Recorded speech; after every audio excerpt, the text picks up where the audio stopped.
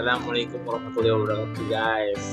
Nih Saya baru mengadopsi tiga ekor tupai atau bajing kelapa.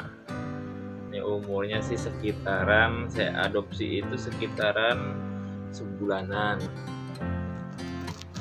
Tadinya saya mau ngambil satu dulu Cuman atau dua lah Cuman nih kasihan ada tiga nanggung Jadinya saya adopsi semuanya ini sih masih masih seger-seger ya. Ininya apa tupainya tuh. Ini sih tupainya sih belum ada yang belum ada yang saya kasih nama. Jadi kalau kalian semua ada ide nama apa yang bagus untuk tupai ini boleh komen langsung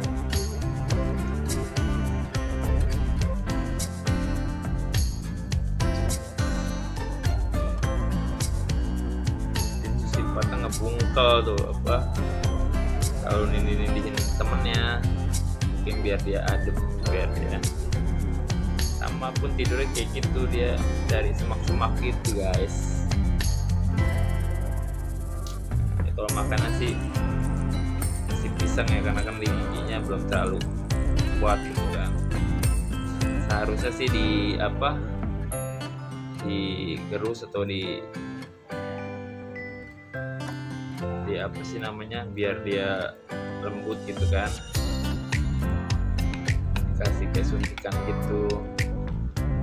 Bisa langsung dimasukin ke mulutnya cuman sih kayaknya ini udah mulai agak mandirian ya. Kuat sih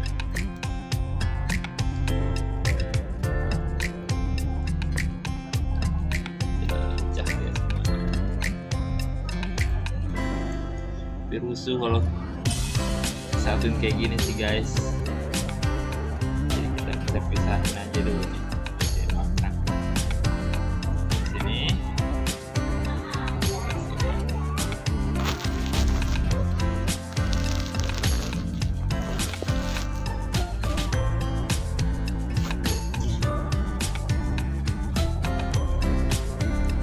Jadi kalau kita dari kecil tuh kemungkinan akan jinak terhadap kita. Karena dia kalau terbiasa dengan dengan apa dengan orang yang misalnya bau-bau badan atau aromanya gitu dia akan interaktif sama orang tersebut gitu karena udah terbiasa. Jadi bagi dia itu bukan suatu apa hal yang mencekam gitu loh.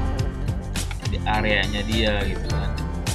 Jadi udah ter- terbiasa sama orang yang ngurus ini gitu loh.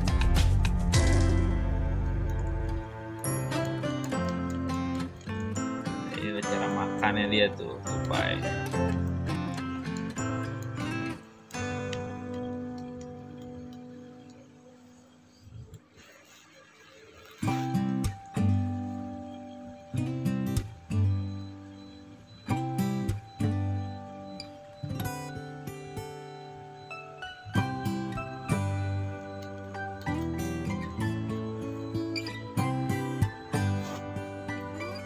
kalau umur segini tuh masih eh baru bisa kayak makan buah-buahan kayak pisang kayak pepaya gitu kan. Karena dia cangkem giginya tuh belum terlalu kuat ya. Jadi dia baru bisa yang lembut lembek-lembek kayak pisang pepaya kayak gitu sih. Kayak untuk buah-buahan yang lain agak keras tuh kayaknya dia belum bisa ya. Mungkin- mungkin kalau udah umur 3 bulanan mungkin baru dia bisa buah pir apel enak amat ya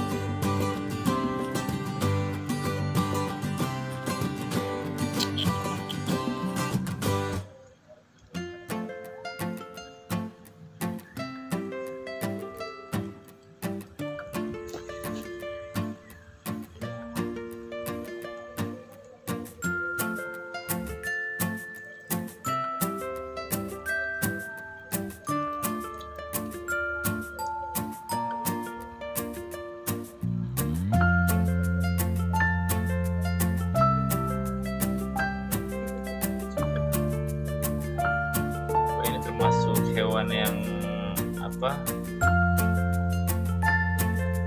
Harus makan juga sih ya.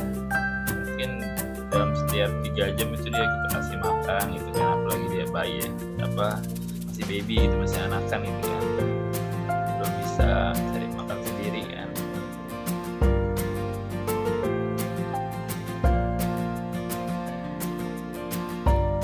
Dia masih belum terlalu lincah dalam artian jalannya ya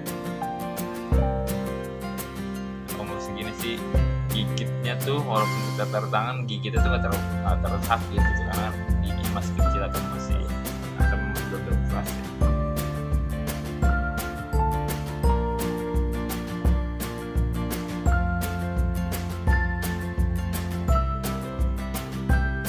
Oke guys, ini adalah adopsi aku.